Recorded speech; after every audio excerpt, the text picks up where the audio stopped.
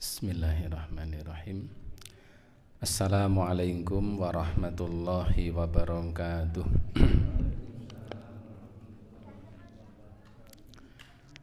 Innal hamdalillah nahmaduhu wa nasta'inuhu wa nastahdi wa natubu ilaih wa na'udzu billahi min syururi anfusina wa sayyiati a'malina.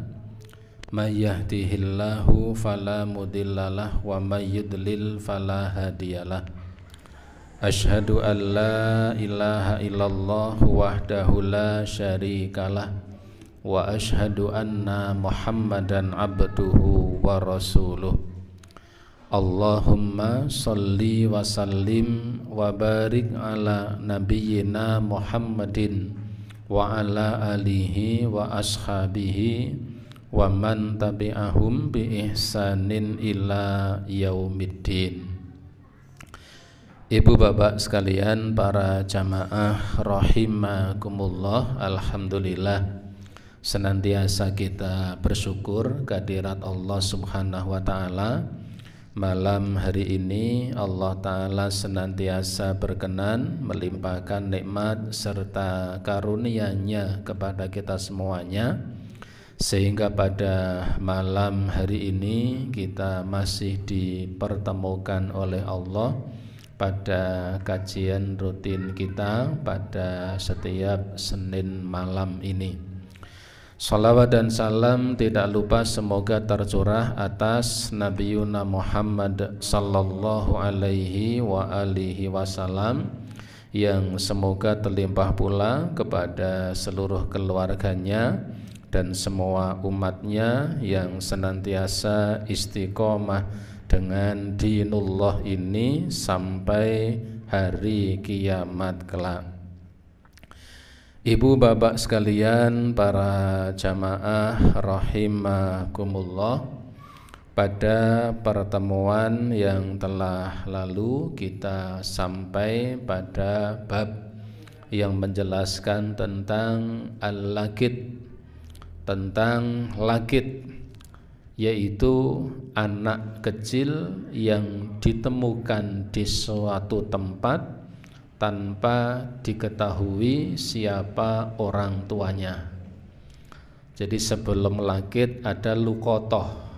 Kalau lukotoh barang yang ditemukan di suatu tempat yang tidak diketahui siapa pemiliknya kaidah pokok dulu kita sampaikan jika barang temuan itu berupa barang yang nilainya tidak tinggi dan barang itu tidak diminati oleh banyak orang ketika barang itu tidak segera dimanfaatkan maka kita kalau tidak segera dimanfaatkan maka barang itu menjadi rusak maka kita boleh untuk memanfaatkannya. Contoh ya, contoh nemukan pisang satu satu apa? Satu kok satu tundun. pisang satu biji misalnya kan. Pisang satu biji kemudian ketika kita melihatnya kalau tidak kita manfaatkan itu akan busuk barangkali maka boleh kita langsung untuk memakannya boleh. Meskipun kalau di antara kita ingin menjaga kehormatan agama kita. Dengan cara apa? Dengan cara ya kita tidak akan mau untuk mengambil yang bukan milik kita, ah, itu boleh. Tetapi ketika kemudian ada orang yang memungutnya, kemudian langsung memanfaatkannya, maka hukumnya boleh. Karena itu barang yang tidak begitu bernilai. Berbeda jika lukotoh atau barang temuan itu barang yang bernilai. Contoh menemukan ya menemukan satu buah handphone misalnya yang mereknya merek terkenal dan harganya mahal. HP yang mahal harganya berapa? Berapa? ya 22 juta galaksi yang bisa dilipat dan seterusnya. Eh, ada yang 27 juta ada yang 34 juta. HP kok telung pola papat juta ya buat beli ini dapat banyak. Bingung larang gojei gitu. Ada HP yang ya yang bermerek harganya mahal ditemukan. Maka ketika lukotoh barang temuan itu barang yang bernilai tinggi maka kewajiban kita adalah mengamankannya menjaganya lalu mengumumkan kepada banyak orang bahkan mengumumkannya sampai satu tahun. Supaya apa? Supaya dalam rentang satu tahun itu barangkali ada yang merasa kehilangan kemudian segera ia memungutnya ketika kemudian ada orang yang memungutnya maka kita yang menemukan berkewajiban untuk mengembalikannya ini kalau lukotoh itu barang yang berharga kalau barang itu berharga maka kewajiban kita adalah menjaganya kemudian merawatnya, kemudian mengumumkannya dalam waktu satu tahun. Berbeda dengan menemukan pisang satu biji, ngumum ke setahun yo bosok kan begitu. Maka boleh untuk memanfaatkannya itu lukotoh. Adapun lakit, lakit itu anak temuan, ya. Kan? seorang anak kecil yang ditemukan di suatu tempat tanpa diketahui siapa yang memilikinya. Anak yang ditemukan di suatu tempat tanpa diketahui siapa orang tuanya, itu namanya lakit. Nah, ketika ada di antara kita kebetulan mendapati seperti itu, ada seorang anak kecil misalnya bayi ditemukan di tempat tong sampah di perempatan jalan misalnya bayinya itu di mana pun bayi itu selalu owek-owek kan begitu. Ketika menemukan ada seorang anak kecil ada bayi di perempatan dekat tong sampah dan kita tidak tahu siapa yang menjadi orang tua bayi itu maka harus ada orang yang memungutnya dan merawatnya. Memungutnya hukumnya fardu kifayah. Artinya harus ada yang memungutnya. Kalau ada beberapa orang yang melihatnya lewat ada bayi di perempat jalan ya kita lewat di situ eh ono bayi dipoto jebret jebret jebret tinggal lungo orang berikutnya melihatnya dipoto lagi jebret jebret jebret. Yang berikutnya malah selfie misalnya.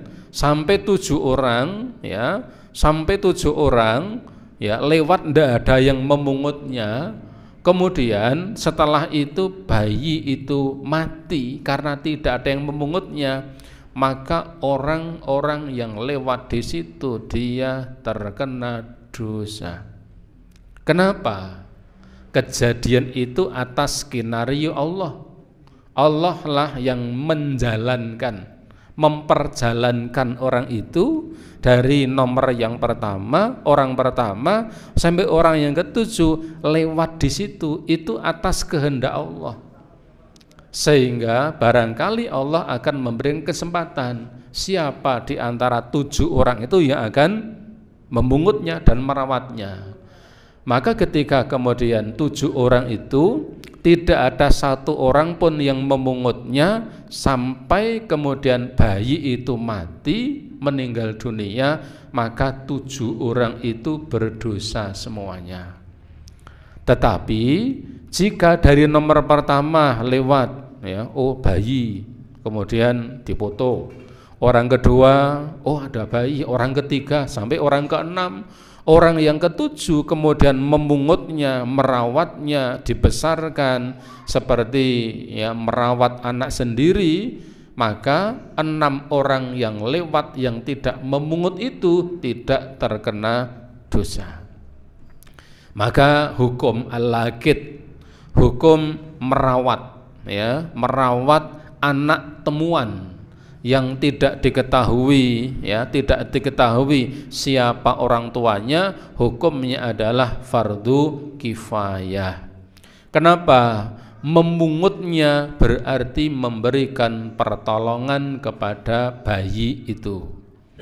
Jadi ketika memungutnya berarti memberikan pertolongan.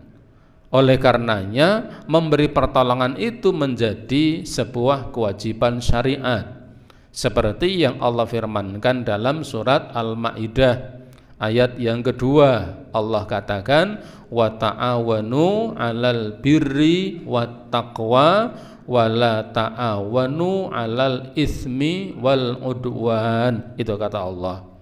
Wa ta'awanu dan tolong menolonglah kalian semua 'alal birri wat taqwa di atas kebenaran dan ketakwaan Tolong menolonglah kalian dalam kebaikan dan dalam ketakwaan. Wala ta'awanu alal ithmi wal udwan dan janganlah kalian tolong menolong dalam perbuatan dosa dan permusuhan. Kemarin kita sampaikan bahwa ya beberapa ketentuan tentang anak temuan ini bayi temuan ini yang pertama di antaranya bahwa orang yang menemukan itu harus membuat persaksian. Kalau sekarang ya membuat semacam berita acara ya kalau di dilaporkan ke pihak pemerintahan terendah setempat kelurahan atau desa ya membuat sebuah berita acara bahwa pada hari ini tanggal sekian bulan apa di tempat ini ditemukan seorang bayi dalam keadaan ya rinci ya dalam keadaan tergeletak di atas kardus di samping tong sampah. Tong sampahnya berwarna ya berwarna jangan hijau biru ya nanti ada partai yang tersinggung. Yang berwarna apa misalnya kan? Itu berita acaranya lengkap ya lengkap. Karena itu bagian dari bagian dari persaksian. Kemudian jika di samping bayi itu ternyata orang yang menelantarkan juga meninggalkan harta berharga di situ maka orang yang menemukan bayi temuan itu maka dia bisa merawat menafkahi bayi temuan itu dengan harta yang ada di sampingnya. Misalnya ya ditemukan ditemukan seorang bayi di perempatan jalan ya di atas kardus misalnya di sampingnya itu ada gelang, anting, kalung, sak Siapa namanya segini ini? Sa apa? Kok sak gepok niku duit. Hmm. Sak apa? Wah, saya tidak tahu karena belum pernah menemukan. ya, jadi kalau dulu sak telekem kan begitu ya, ada bayi tergeletak di sampingnya ada emas misalnya. Tapi itu kemungkinan kecil seperti itu ya. Ya, kalau ada orang seperti itu barang orang bodoh kan begitu. Kenapa? Yang menemukan pertama jika masih ditinggal bayi ini itu. Kalau ditemukan seperti itu, maka kemudian apa? Membuat berita acara dan dia boleh menggunakan harta yang ada di samping ya di samping bayi yang ditemukan itu untuk merawatnya, untuk menafkahinya. Tetapi kalau tidak ada, maka anak itu dirawat ya diambilkan dari dananya kaum muslimin. Kalau negara Islam ada baitul mal. Kalau tidak bisa diberi santunan dari masyarakat secara bersamaan. Jika tidak, maka boleh ada yang memungutnya kemudian dibiayai dari hartanya sendiri. Ini terkait uh, lakit atau anak yang ditemukan tanpa diketahui siapa yang menelantarkannya. Kesimpulannya adalah memungutnya, merawatnya, hukumnya adalah fardu kifayah. Harus ada yang melakukan. Kalau tidak ada yang melakukan, maka orang-orang yang mengetahuinya berdosa. Ibu bapak para jamaah rahimakumullah selanjutnya bab yang berikutnya adalah fil khijri wat taflisi. Yang berikutnya adalah al-maddatus sadisah. Materi yang keenam adalah al-hijri, al-hijr, hijr. Wat taflisi dan taflis. Hijr dan taflis. Yang pertama adalah al-hijru, ya, al-hijru. Ta'rifuhu yang dimaksud al-hijru huwa man'ul insani minat tasarrufi fi malihi. Yang dimaksud hijr adalah dilarangnya seseorang untuk mengelola atau membelanjakan hartanya. Jadi begini, dalam hukum Islam itu ada segolongan orang-orang tertentu yang boleh dihijr. Segolongan orang tertentu yang boleh dihijr. Apa artinya? Orang itu dilarang untuk mengelola atau membelanjakan hartanya. Jadi memang dia tidak boleh untuk mengelola atau untuk membelanjakan hartanya. Kenapa? Misalnya lisoghirin karena usianya yang masih anak-anak. Bayi itu tidak boleh. Anak kecil itu tidak boleh mengelola dan membelanjakan hartanya di luar kemampuannya. Ada anak TK pergi ke dealer misalnya, kemudian beli mobil, mobil saja truk misalnya, itu saja fuso. Nah, ini ini tidak boleh ya, tidak boleh.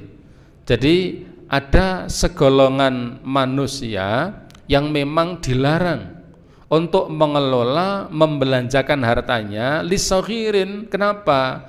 Karena usianya yang memang masih anak-anak, dia belum balik, belum mengetahui cara mengelola harta.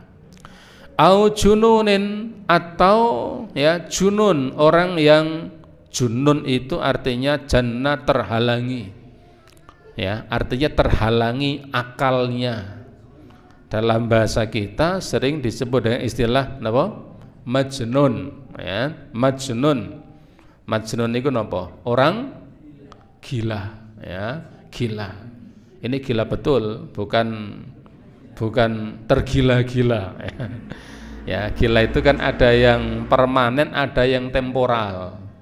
Yang permanen itu memang seumur-umur gila. Ada yang temporal. Temporal kapan? Anggar tanggal selawe, tanggal tanggal telung puluh gendeng. Ya. Tanggal satu mari, bukan itu dimaksud.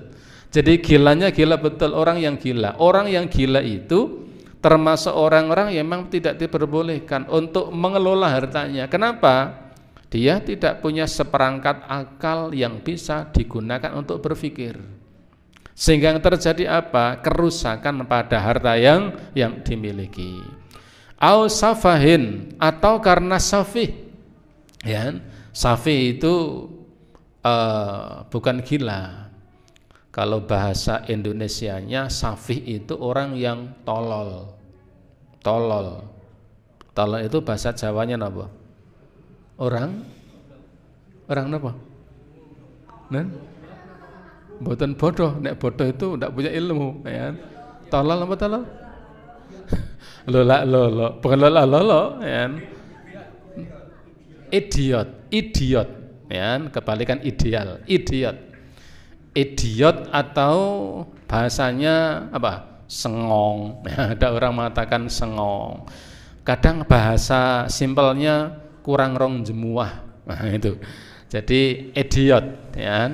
Jadi kalau safi itu bahasa Indonesianya itu tolol ya. Atau kalau orang Jawa sering mengatakan tadi orang weng ya, ada yang mengatakan weng, ada yang mengatakan sengong, ada yang mengatakan apa Bu? Apa? ah, itu pokoknya ya. Jadi sejenis itu ya, itu safi. Ini berbeda dengan gila. Kalau gila memang gila, kalau ini karena akalnya itu yang kayak anak kecil, ya.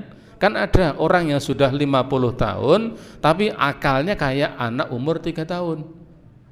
umurnya 55 tahun tapi kayak orang yang umurnya tiga tahun ya tentang pinggir jalan kemudian sentelap sentelip ya bola paling ngunggah ke kato ada orang lewat di dada-dada. Itu bukan gila tapi apa namanya itu bukan kentir ya ya itu. Sengong itu. Atau ya. Bego. Itu. Begu orang bahasa Indonesia kan? Nah, itu. Itu termasuk orang yang yang perlu dihijar ya. Tidak diperbolehkan mengelola harta. Au falasin. Atau seseorang yang mengalami kebangkrutan ya. Mengalami kebangkrutan. Biasanya itu mengalami pengadilan kalau ada orang yang sudah dinyatakan pilot bangkrut ya itu dalam dalam peradilan biasanya dia hartanya dalam uh, apa? Hartanya di bawah di bawah pengawasan. Sehingga dia tidak boleh untuk mengelola hartanya. Kecuali ya sekedar apa yang menjadi kebutuhan pribadinya ya misalnya punya perusahaan kemudian bangkrut dinyatakan pilot maka ketika pilot dia tidak boleh untuk mengelola mengelola hartanya. Kenapa? Karena barangkali dimungkinkan banyak hutang yang menjadi tanggungannya. Nah, ini kena hijr. Jadi hijr itu yang dimaksud di sini adalah orang-orang sekelompok orang yang memang dinyatakan tidak boleh untuk mengelola harta. Nah, itu ada dalam hukum fikih. Bukan hanya ada dalam larangan-larangan ya hubungan sosial kemasyarakatan tidak. Tetapi itu dalam syarat Islam. Ada orang-orang yang boleh untuk dihijar hukmu hukum menghijar ini hukum menetapkan larangan orang-orang tertentu untuk tidak boleh mengelola hartanya membelacakan hartanya hukumnya adalah masyru. Itu disyariatkan. Ya disyariatkan. Bi qaulillahi taala sebagaimana yang Allah taala firmankan dalam surat An-Nisa ayat yang kelima. Allah mengatakan wala tu'tu sufaha'a amwalakumul lati ja'alallahu lakum qiyama warzukuhum fiha waksuhum kata Allah wala tu'tus maka jangan kamu berikan. Jangan kamu berikan kepada orang-orang sufaha orang-orang yang tidak berakal tidak punya akal ini bisa jadi sufa itu bisa jadi anak kecil bisa jadi orang gila bisa jadi orang yang tolol tadi. Amwalakumul lati ja'alallahu lakum qiyamah. Harta mereka yang kalian pegang untuk memenuhi kebutuhan mereka. Jadi Allah katakan begitu jangan kamu berikan harta mereka yang ada pada tangan kamu Jangan kamu berikan kepada orang-orang yang belum punya akal, belum balik, atau orang yang sedang mengalami gangguan jiwa jangan kamu berikan kepada mereka harta mereka yang ada pada kalian. Warzukuhum fiha berilah kepada mereka dari harta mereka yang ada pada kalian untuk memberi makan mereka. Waksuhum dan berilah pakaian kepada mereka. Allah katakan begitu. Jadi Allah katakan jangan kamu berikan kepada orang-orang safi, orang-orang yang tidak punya akal terhadap harta mereka yang ada di tangan kalian, jangan kalian berikan kepada mereka. Cukup mereka kalian beri nafkah, cukup kalian beri mereka rizki. Mangsane mangan dikasih makanan. Ya, kebutuhan minum dipenuhi kebutuhan makanan dipenuhi, kebutuhan pakaian dipenuhi, diambilkan dari harta mereka. Ini dalam surat An-Nisa ayat yang kelima. Wa bi'amali Rasulillah SAW dan berdasarkan apa yang dilakukan oleh Rasulullah SAW. Idh hajara sallallahu alaihi wasallam ala muadzin sebagaimana ketika Rasulullah wasallam menghijr jadi Nabi itu pernah menghijr pernah melarang seseorang untuk mengelola hartanya. Siapa? Yaitu sahabat beliau Muad bin Jabal malahu ya idh hajar Rasulullah sallam ala muadzin. Ketika Nabi menghijr Muad bin Jabal malahu atas hartanya lama istaghraqahu dainu. Tatkala beliau terlilit hutang. Jadi sahabat yang agung Muad bin Jabal. Muad bin Jabal itu termasuk ulamanya sahabat dan Mu'ad bin Jabal itu sahabat yang beberapa rahasia Rasulullah diberikan kepada beliau. Ada Mu'ad, ada Khudzaifah.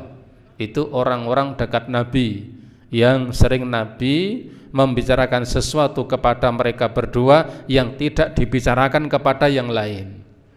Nah, Mu'ad ini seorang ulamanya sahabat.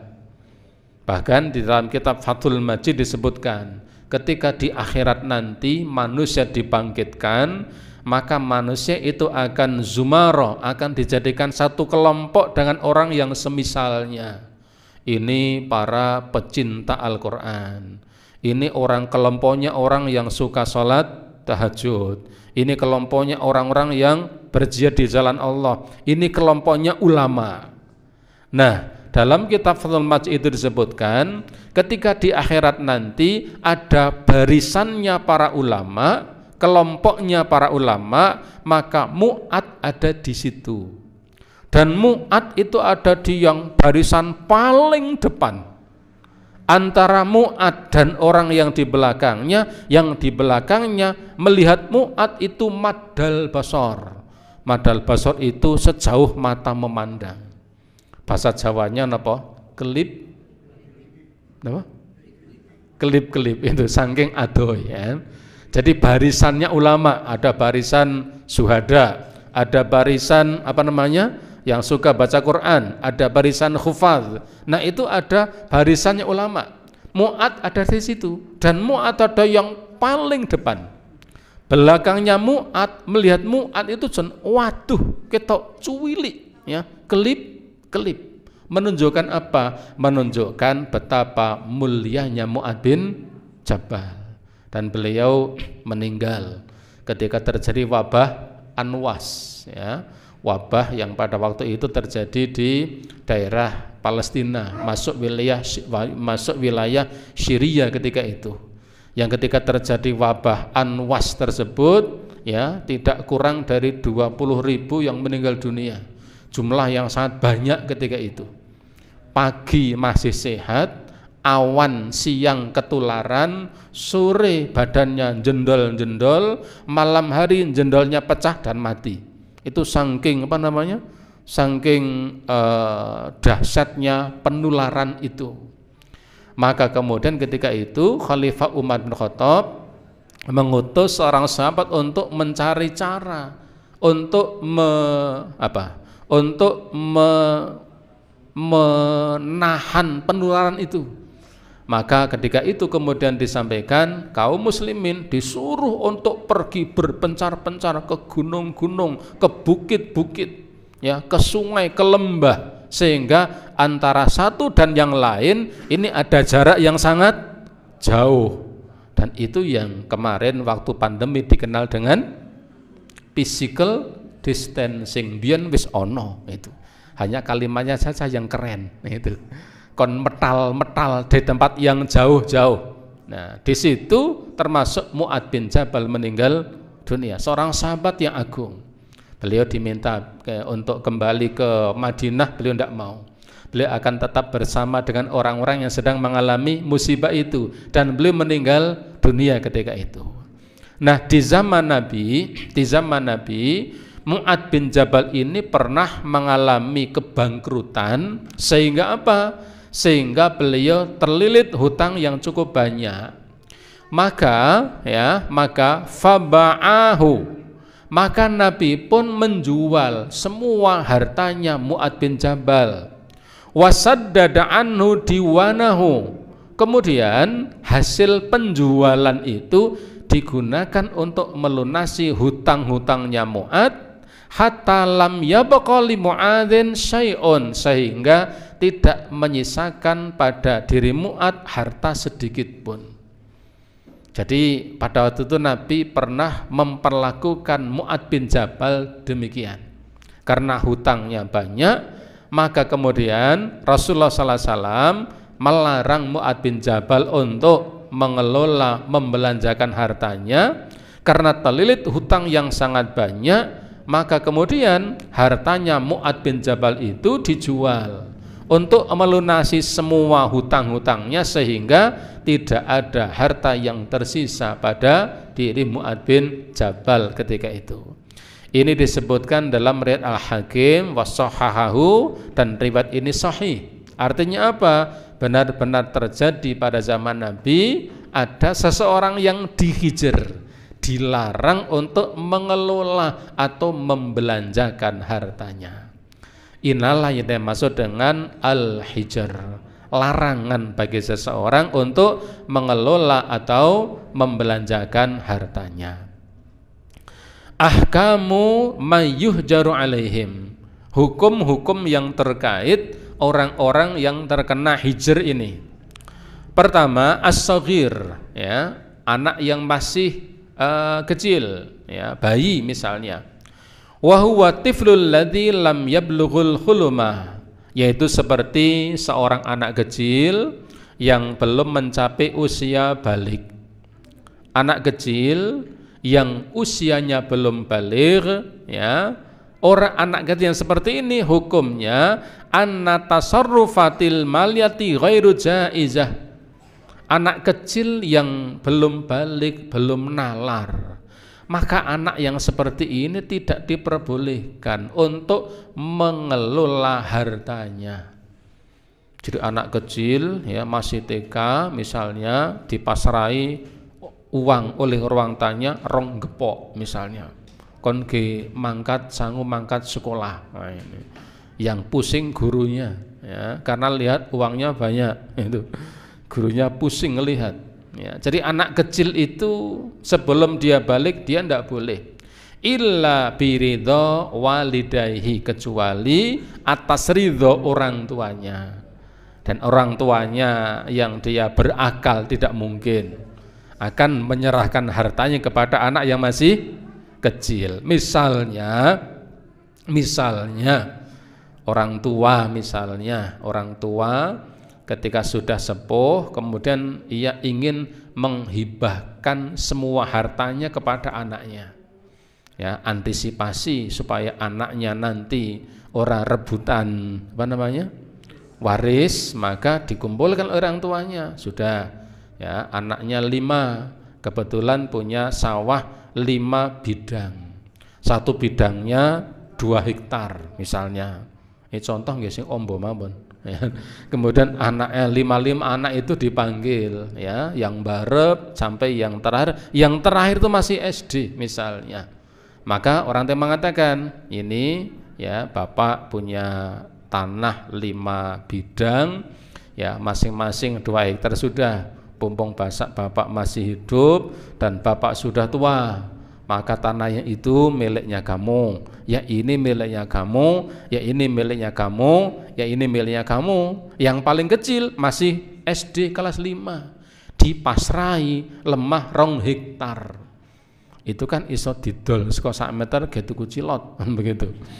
Maka yang seperti ini dihijar. Anak ini tidak boleh untuk mengelola hartanya. Yang mengelola siapa? Kerabatnya kakaknya dan lain sebagainya au wasiyatin ingkana yatiman. Atau kalau itu anak yatim juga tidak boleh. Ya anak yatim itu juga mestinya kalau anak yatim itu punya harta peninggalan yang banyak maka anak yatim itu tidak diperbolehkan untuk mengelola hartanya. Tidak diperbolehkan itu sebagai langkah upaya kehati-hatian supaya apa? Hartanya tidak tidak menjadi hancur, hartanya tidak menjadi rusak. wa yustamarul hijru alai ilal bulughi. Maka menghijr ini terus dilakukan sampai anak itu balik.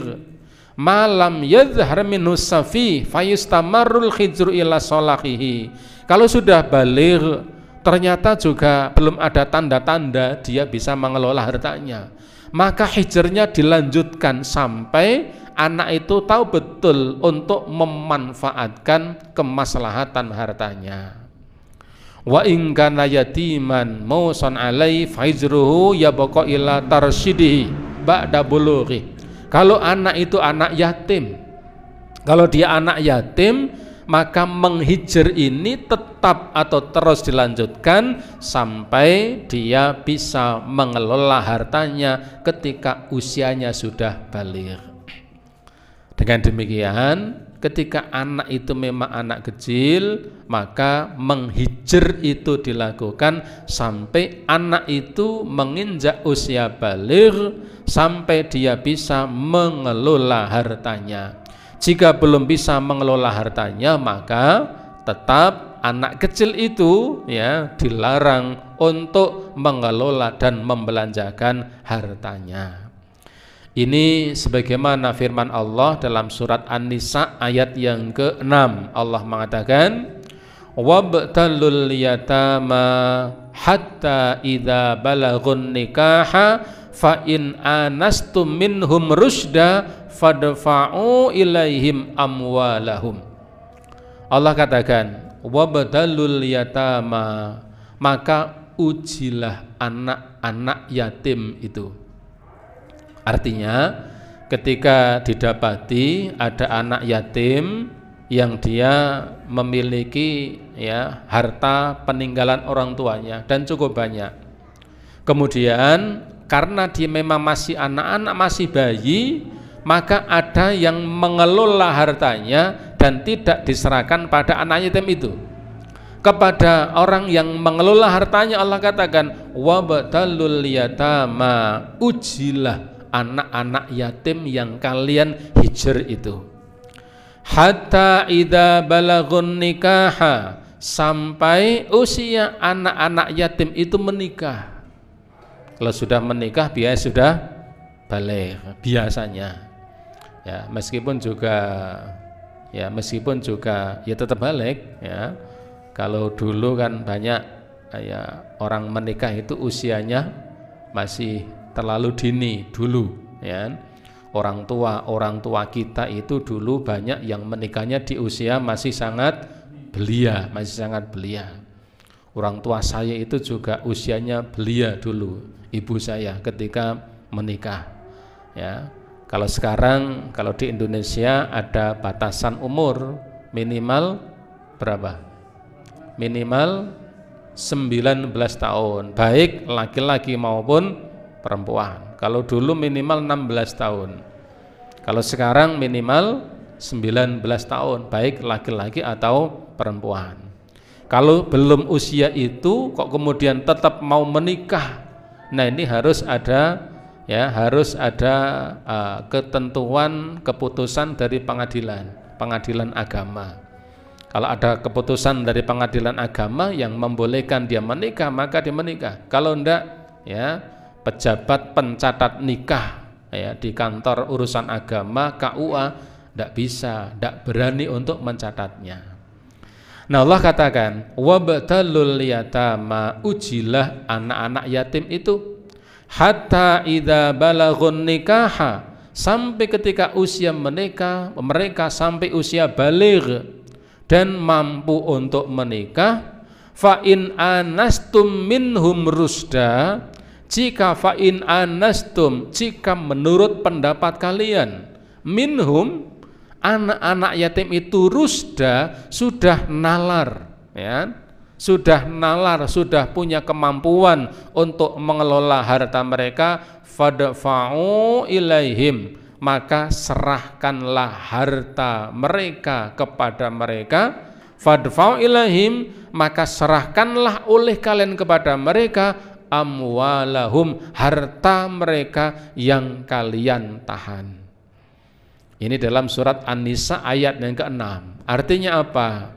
Ketika ada seorang anak yatim, anak kecil, ya kalau anak kecil tentunya orang tuanya. Kalau anak yatim tentunya orang yang diberi wasiat. Untuk apa? Untuk mengurus anak yatim itu. Kalau ada yang diberi wasiat. Kalau tidak, maka hendaklah ada segolongan kaum muslimin yang ya yang berniat baik untuk mengelolanya. Maka ketika anak itu masih kecil, ya tidak diperbolehkan mengelola hartanya. Ketika sudah dewasa, baru kemudian harta mereka diserahkan kepada mereka.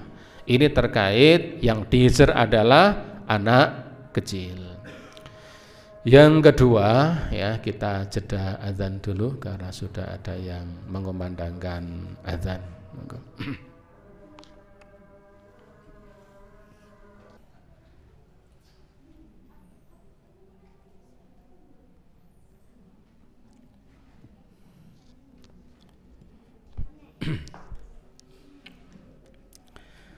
Baik, Ibu sekalian rahimakumullah, kita lanjutkan.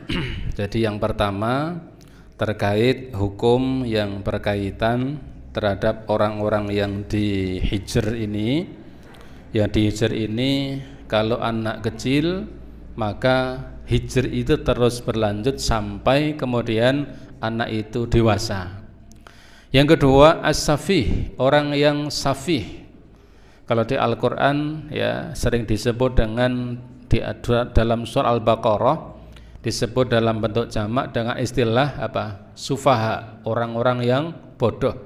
Safih itu artinya orang yang tolol, ya, orang yang tolol. As-safih, orang yang safih, orang yang tidak berakal.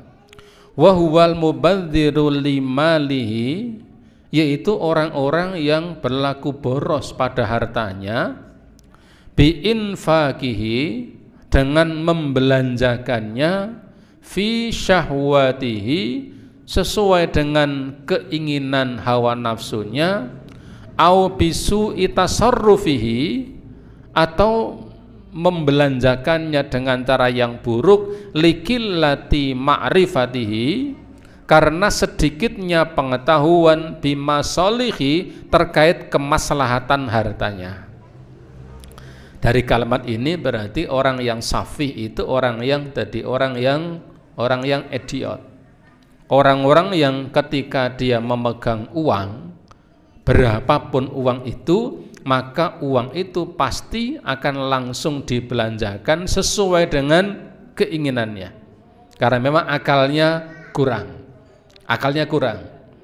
Jadi kalau ada anak ya, kalau ada orang idiot, ya, orang idiot Ya, idiot itu bukannya anak, tapi orang.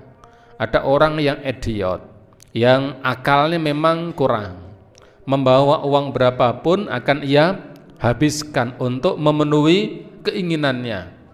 Ada apa pun yang lewat di hadapannya selalu ia beli misalnya.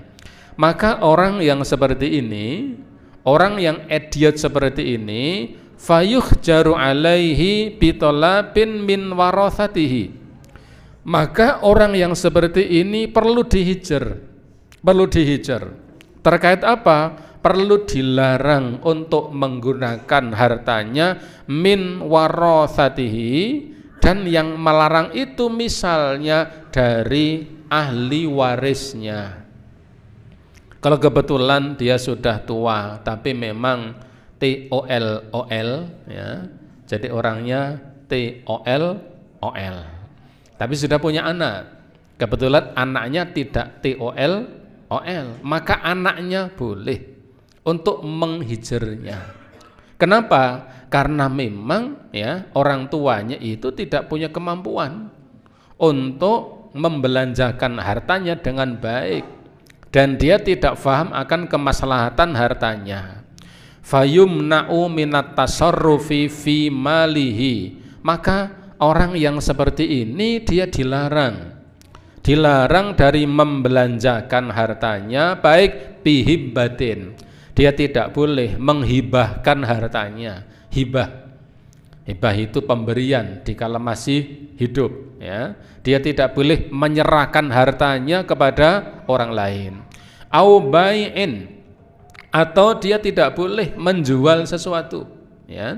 Tidak boleh menjual sesuatu kalau dia ya sudah diketahui dia dihijr kemudian ada orang yang melakukan jual beli dengannya maka jual belinya dinyatakan tidak sah.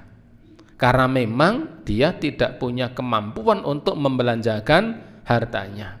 Bai'in au syara'in jual beli hatta yursida hatta yarsada. Sampai dia memang betul-betul akalnya kembali normal kalau sudah normal baru kemudian di apa namanya uh, boleh untuk membelanjakan hartanya kenapa karena harta itu zuhur mah ada kemuliaan kita dilarang ya untuk memubazirkan harta. Rasulullah mengatakan ya ada tiga perkara yang sangat dibenci oleh Allah.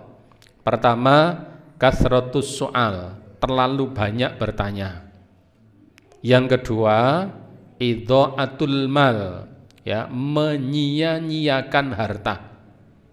Yang ketiga, ya kata Rasulullah, setelah atul mal, kasratus soal, yang ketiga ya eh, menyia-nyiakan harta, kemudian terlalu banyak bertanya. Yang ketiga, sebagian riwayat ya mengatakan durhaka kepada kedua orang tua. Ya, atau ada beberapa versi riwayat yang lain. Artinya apa? atul mal, menyia-nyiakan harta termasuk perkara yang dilarang. Kalau riwayat yang lain dikatakan atul mal menyia-nyiakan harta. Kemudian yang kedua, terlalu banyak bertanya. Yang ketiga, kilawakola. Kilawakola itu terlalu mudah menyebarkan berita dari mulut ke mulut. Mbak, tak omong ya, ning ojo omong-omong. Ya, jadi nguturi ngomong sama orang lain, tak omong ya ning ojo omong-omong. Nanti yang mendengar juga begitu menyampaikan pada orang lain. Nganu ya, tak omongin neng ojo omong-omong. Yang seperti ini dibenci oleh Allah kenapa? Ketika berita itu tersiar dari mulut ke mulut ada tiga kemungkinan. Kemungkinan pertama berita itu akan bertambah kalimatnya. Yang kedua, kemungkinan kedua berkurang kalimatnya. Yang ketiga, berubah isinya. Itu ketika berita itu tersiar dari mulut ke mulut. Ya, pernah saya sampaikan, saya pernah nyoba pada anak usia kelas 3 aliyah itu ada 12 anak, kemudian saya suruh berjajar ke belakang, yang paling depan saya panggil maju sampaikan kamu beritahukan pada yang di belakangnya sampai paling belakang. Saya ingin tahu kecermatan kalian amanah ketika menyampaikan berita. Paling depan sampai maju, dah kamu maju. Tak uturi begini. Ingat ndak? Lupa Ustaz, tak tulis. Kolo kulo kelas kali, kulo kalian konco kulo ingkang kali, kulaan kulang kaling. Itu. Ya, baca kamu. Baca sudah sekarang tidak baca, betul. Sampaikan belakangnya. Belakangnya disampaikan, nguturi sampai kikik kikik begitu. Belakangnya ke belakangnya, belakang sampai paling belakang. Saya tanya, sudah selesai? Sudah Ustaz. Paling belakang maju. Hmm, ketika paling belakang maju, sekarang duduk jejer, eh, berdiri bersama, lainnya duduk antara yang pertama menyampaikan berita dan yang paling terakhir menerima berita. Sampaikan yang paling terakhir kamu dengar dari depan kamu apa? Lowo kalong mangan kulang kaling. itu. Jadi kan berbedanya kan jauh. Ibu bapak itu biasanya kabar yang ada di masyarakat. Sering jadi bentrok, cekcok itu karena apa? Ketika berita itu ditularkan dari mulut ke mulut, kadang bertambah kalimatnya, kadang berkurang kalimatnya, kadang berubah isinya. Maka Nabi melarang tadi terlalu banyak bertanya, menyia-nyiakan harta dan juga menyiarkan berita dari mulut ke mulut. Maka ya uh, harta itu punya kehormatan perlu untuk dijaga. Fa in tasarrafa ba'dal hijri alai fatasarrufuhu batilatun la yunfadu minasyai. Ya, ketika ada seseorang yang dihijar, ada seseorang yang tadi TOL OL. Kemudian dia memang oleh keluarganya sudah dikatakan dia tidak boleh untuk membelanjakan hartanya. Kemudian ada seseorang yang melakukan transaksi jual beli maka transaksinya dinyatakan batal karena hukum. Karena apa? Memang dia tidak boleh untuk membelanjakan hartanya. Wa makana qabla al-hijri alai munfanafidun la yaruddu minhu syai'. Tetapi kalau transaksi itu dilakukan sebelum ada pernyataan bahwa orang ini tidak boleh untuk mengelola hartanya, kalau dia melakukan transaksi sebelum itu, transaksinya tetap dianggap sah dan boleh. Maka hijr itu perlu. Untuk apa? Kemaslahatan banyak orang. Kemaslahatan harta orang itu dan nanti tidak ada orang yang tercederai. Kenapa? Karena batalnya akad yang dilakukan dengan orang yang eh, akalnya kurang tersebut. Yang ketiga al majnun ya orang gila majnun ini yang tadi gila gila betulan. Al majnunu huwa man aqluhu ya majnun itu adalah orang yang ya hilang akalnya fadha'afa idrakahu sehingga lemahlah pengertiannya. Orang yang akalnya terhalangi sehingga ya ke uh, ilmunya atau pengetahuannya sangat lemah Fayuh jaru alaihi orang gila ini dia perlu untuk dihijar. Untuk apa? Dilarang untuk mengelola hartanya.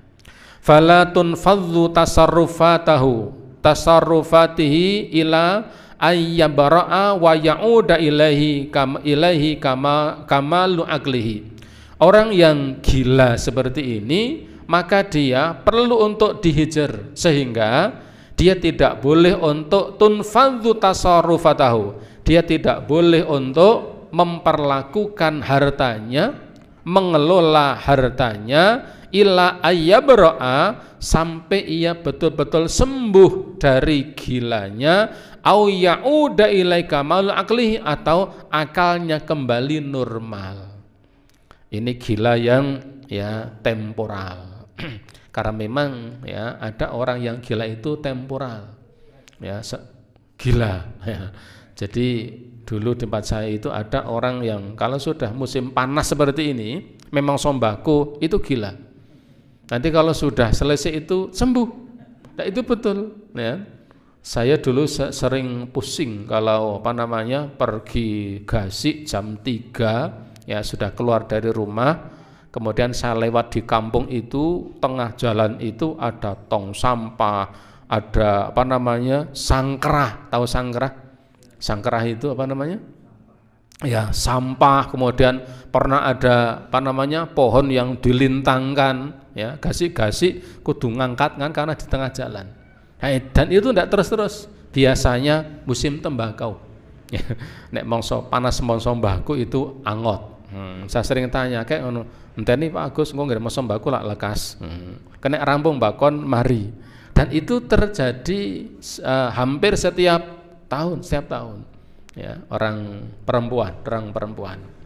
Nah, kalau ada seseorang yang gilanya seperti itu selama ia gila, maka dia tidak boleh untuk mengelola hartanya. Kalau ada seseorang yang melakukan akad dengan orang itu terkait akad yang berkaitan dengan harta maka akadnya tidak tidak sah. Liqauli sallallahu alaihi wasallam berdasarkan sabda Nabi sallallahu alaihi wasallam rufi al qalamu an thalathatin pena itu diangkat dari tiga golongan manusia. Ada tiga golongan manusia yang tidak dicatat. Kalau ia dosa, tidak dicatat ia berdosa. Ya, lumayan ini, ya. Melakoni dosa yang berarti dicatat tiga golongan. Pertama, al majnunil maghlubi ala aqli hatta yabara'a. Orang gila yang akalnya tidak berfungsi sampai ia sembuh. Yang kedua, wa anin naimi hatta yastaiqidha. Orang yang tidur sampai dia bangun. Orang yang tidur dia mengigau kemudian mencak-mencak ya, mencak-mencak apa? Apa namanya? mencela orang lain, maka tidak berdosa. Karena memang akalnya tidak tidak apa namanya? tidak tidak berfungsi ya. Karena dia memang dalam kondisi tidur mengigau. Sedang tidur tiba-tiba bangun. Tapi akalnya itu ndak ndak fungsi. Jalan-jalan ngambil ya ngambil pisang tetangganya dimakan. Habis mapan turun neh. Tapi ketika makan dia ndak sadar. Hmm. ada yang seperti itu. Saya lupa namanya kalau di medis itu dulu daerah Keranggan itu ada orang yang punya kelainan seperti itu. Jadi dia pernah malam hari jam 12 yang cerita istrinya. Suaminya bangun ya ya melek. Dia ke dapur tapi tidak sadar. Ke dapur makan dele rong unting ya. Jadi dele itu kan ngucei kan itu. Aneh entung ngoten ping leb leb kan itu. Ini dele dua unting habis dia tidur lagi dan dia tidak sadar kalau dia makan. Nah itu di medis ada namanya saya lupa itu pernah nanya itu. Nah kalau dia melakukan perbuatan yang berusaha seperti itu tidak dicatat. Karena memang akalnya tidak berfungsi tapi tidak boleh kemudian untuk etok-etok pura-pura. Kalau pura-pura itu diiti-iti keri dia ketawa nanti ya. Nah ini orang yang tidur sampai dia bangun wa anis hatta yahtalima. Dan anak kecil bayi sampai dia balik. Jadi orang gila itu juga boleh untuk dihijar bahkan disyariatkan untuk dihijar tidak diperbolehkan untuk mengelola hartanya. Bahkan yang keempat beliau Syekh Abu Bakar Jabir Al-Jazair rahimahullah beliau menambah al-marid orang sakit. Wahwa man maradha mardhan yakhafu anhu yukhafu minhul halak. Adatan. Orang yang mengalami sakit yang sakitnya itu ya secara adat tabiat kalau dalam bahasa kedokteran secara empiris dinyatakan penyakit yang memang membahayakan. Seseorang yang sakit mengalami sakit yang parah difonis sakitnya membahayakan fa inna liwarithatihi maka bagi ahli warisnya boleh untuk menghijar orang itu untuk menggunakan hartanya. Jika difonis dia mengalami sakit yang sakit itu tidak mungkin akan sembuh. Hanya keajaiban ilahi saja. Kan ada penyakit yang seperti itu. Kalau di di rumah sakit sering difonis dengan stadium bukan empat. Kalau empat itu masih masih uh, ada ada harapan penanganan. Kalau dokter itu angkat tangan itu biasanya kalau sudah stadium 5. Kalimatnya sering dengan istilah apa? Hanya menunggu keajaiban dari yang maha kuasa.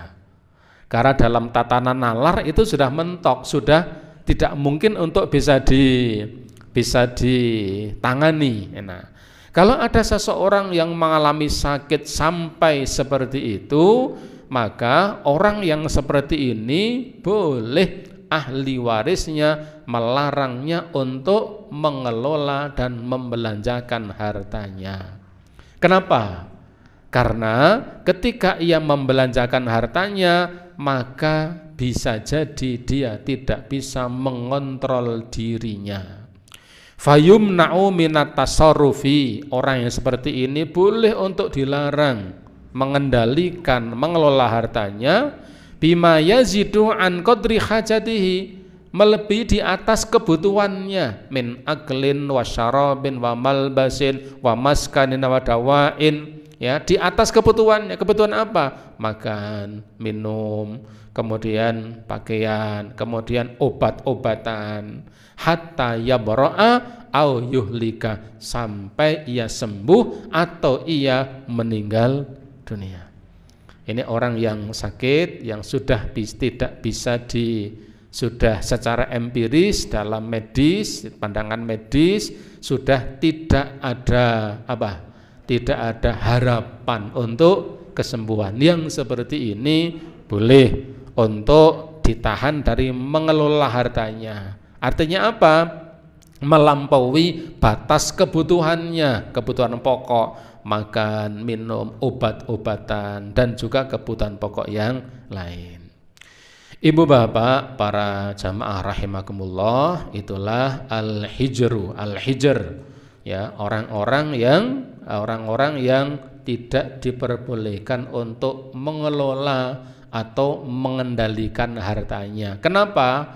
Karena ketidakmampuannya untuk mengelolanya. Seperti tadi karena usia masih anak-anak atau karena gila atau karena safih ya safih itu ya karena ketololan kebodohan au falasin atau karena kebangkrutan khusus masalah perlakuan kepada orang yang mengalami kebangkrutan itu seperti apa nanti ada pembahasan khusus di bab yang berikutnya yaitu bab at-taflisu bab orang yang mengalami pailit atau kebangkrutan.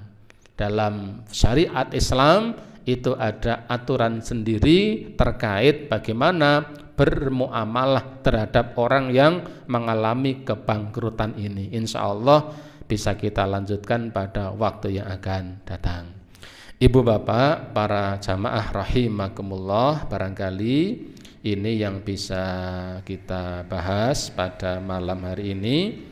Semoga bermanfaat. Segala kesalahan, kekhilafan, kekurangan, mudah-mudahan Allah memberi ampunan. Sebelum saya akhiri, ada pertanyaan? Ya,